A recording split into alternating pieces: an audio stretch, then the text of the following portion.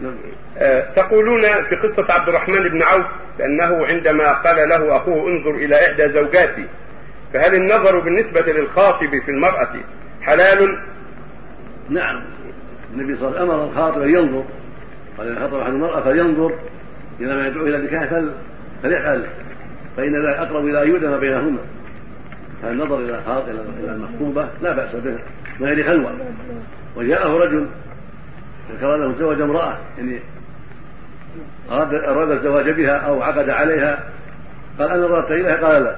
قال لا تنظر إليها رواه مسلم في الصحيح. هذا لا بأس به بل هذا من أسباب الأذن بينهما يعني بينهما واستقامة النجاح بينهما.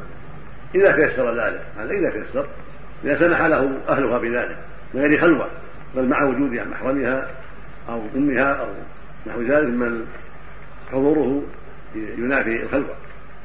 وقد ذكر جابر بن عبد الله الانصاري رضي الله عنه انه خطب امرأة. فأراد أن يعرف أن ينظر إليها. قال فجعلت أتبع النخل وهي في النخل في مزارع الأنصار. نخلة خلف نخلة يختبي لها وراء النخل حتى رأى منها ما أعجبه خطبها.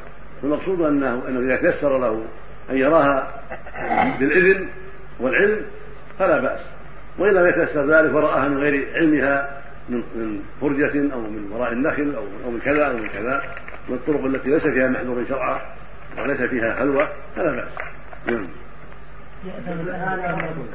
نعم الأهل يأتمون إذا ما مكنوا الخاطب من أبوه هل نحن الظاهر لا يأتمون لكن الأولى والأفضل أن يمكنوا لأن هذا من أسباب الإيذان بينهما والإيذان بينهما.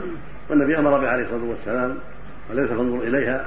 فلما أمر ينظر دل ذلك على جواز أن أنها يستحب له أن يمكنوا ما دام أمر به النبي. فتمكين الرجل الذي أمره النبي ينظر تمكينه أولى لكن بعض الناس من عذابهم ألا يفعلوا يصعب عليهم ذلك. بعضهم يقول أخشى أن يراها فلا تعجبه ثم يتحدث إلى الناس ثم ينفر الناس عنها بعد ذلك. لهم تأويلات في هذا. نعم.